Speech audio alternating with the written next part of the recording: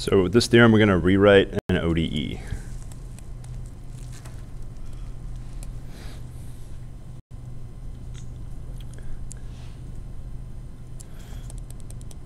So if y1, y2, up through yn, if these are solutions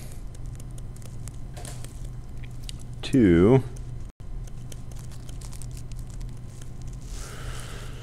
So I just wrote down an ODE in polynomial operator form. So what do I mean by PD of y? Some polynomial, uh, a polynomial derivative operator. So before, let's just review this real quick before we get into this. So this is, let's say, d squared minus 2d plus 1, then PD operating on y. Remember, these operators operate on what's to the right of them. This is d squared minus 2d plus 1 of y.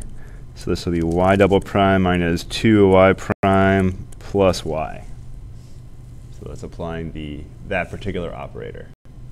So what this lets us do is rewrite ordinary differential equations in operator form. And this was a homogeneous equation. So we started out with this guy equaling 0. So that is how you can rewrite an ODE in polynomial operator form. Now there are some limitations if I just have this form. Uh, for example, if I wanted to do 2xy, how could I get that x in there? The way you do it is you change your operator. We'll do this very soon. Instead of just negative 2, you read as negative 2x d.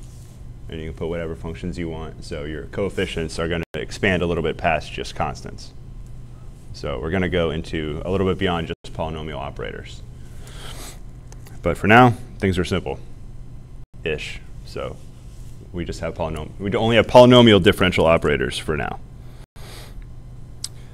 Okay, so that's an ODE. So if these are solutions, then the linear combo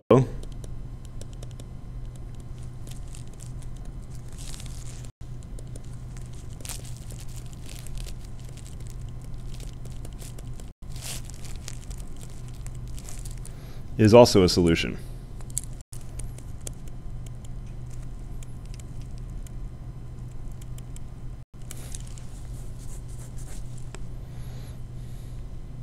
So why is that a solution? Because the linear operator is a linear operator. So when it operates on linear combination, it splits up across addition, and you could bring the scalars outside. So we'll prove that afterwards. It's very easy to prove this once we did all the work we did before, showing that it was a linear operator. And what else? If yc is solution to pdy equals 0 and yp is solution to p dy equals q of x, then y equals, and you can put a coefficient in front of yc, ayc plus yp is solution to p dy equals q of x. So this says you can add in a homogeneous solution and it won't change the fact that you have a particular solution.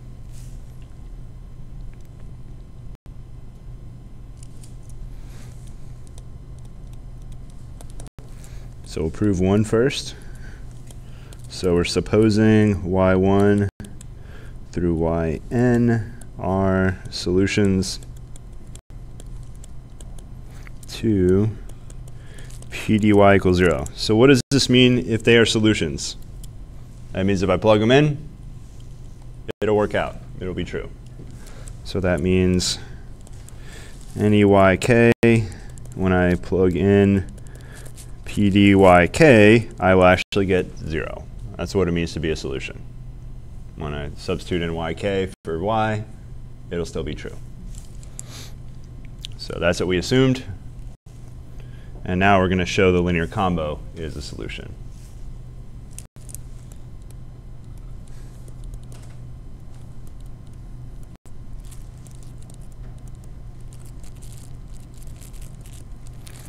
So we're going to take PD of this linear combination.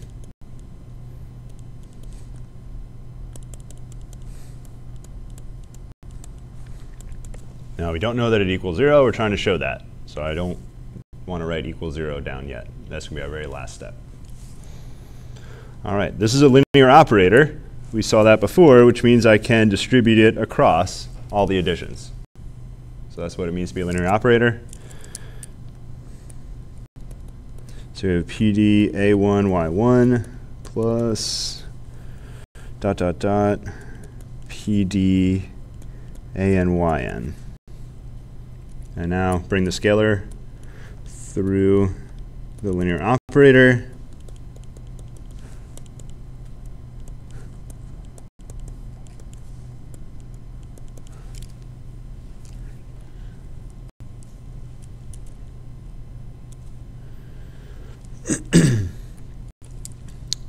why is what I'm circling equal to 0?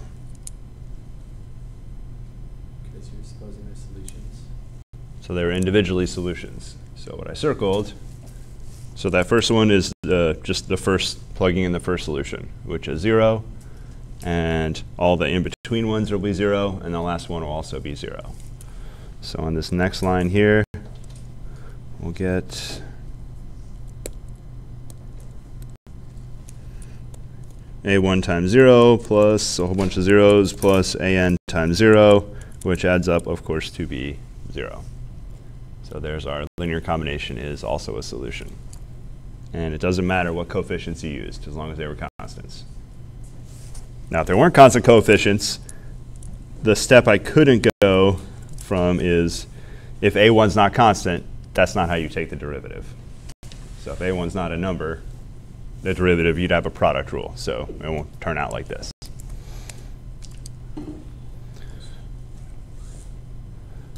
So if we wrote this out in summation notation, it's very pretty. We'll write out in lazy notation. You can write k equals 1 to n, but let's just be lazy and not keep writing 1 to n, 1 to n, 1 to n. So how does the operator work? This operates across the sum and then across uh, that constant uh, multiple.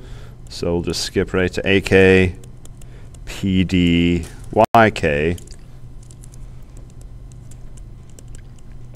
And all of those are times zero, because uh, all those turn into zeros. So that's what it looks like in summation notation. If it wasn't enough to just consider linear polynomial operators the way they were.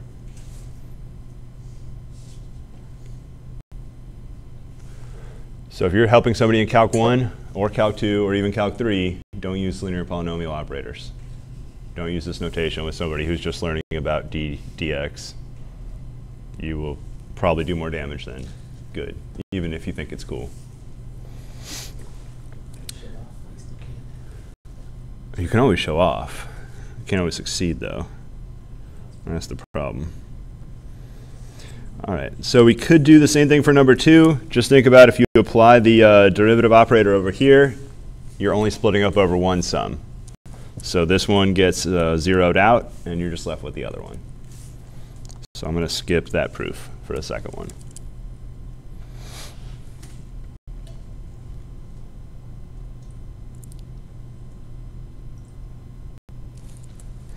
All right, so that's the end of the proof. We'll just draw a little box here, color it in.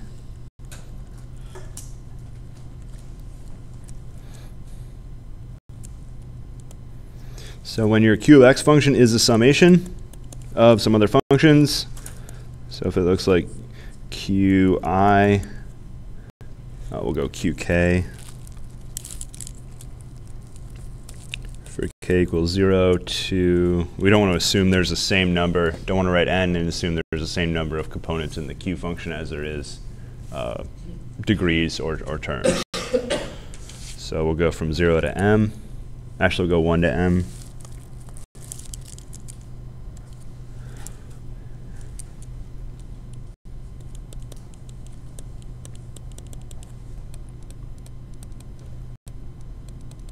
So we'll apply the uh, operator to q of x.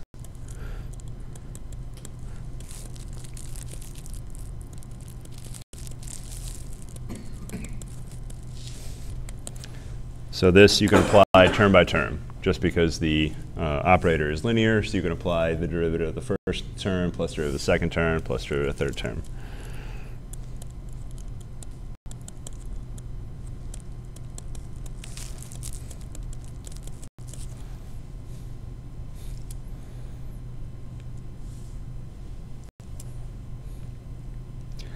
So when you break it down like this, you could find a solution to each of the terms in Q and then add those together and that will be the solution, the particular solution. So you can basically go one piece at a time for Q. So we can write that out.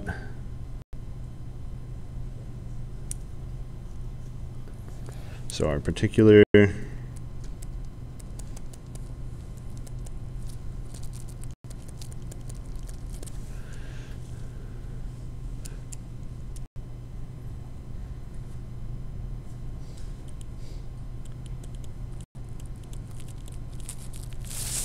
for each k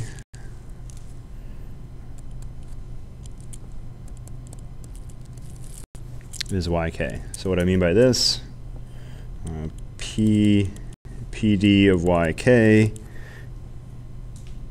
equals qk of x. So for each term in q, you get a different particular solution. And y, the full particular solution is just a summation of these little yks.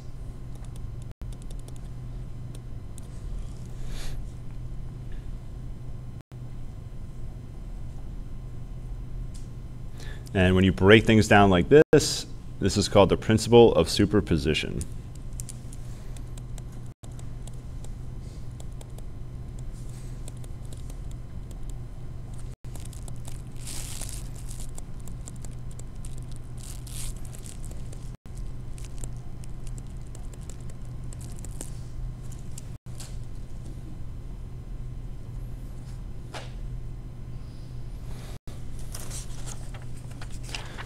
So while we're talking about operators and cool stuff, let's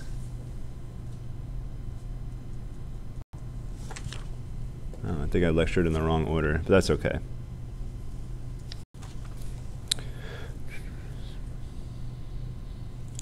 So this is some really geeky stuff that's not terribly relevant for exactly what we're doing, but it would be uh, if you wanted to look more in depth at this. So here's a new letter. I call it curly C. I didn't invent it. It was already invented.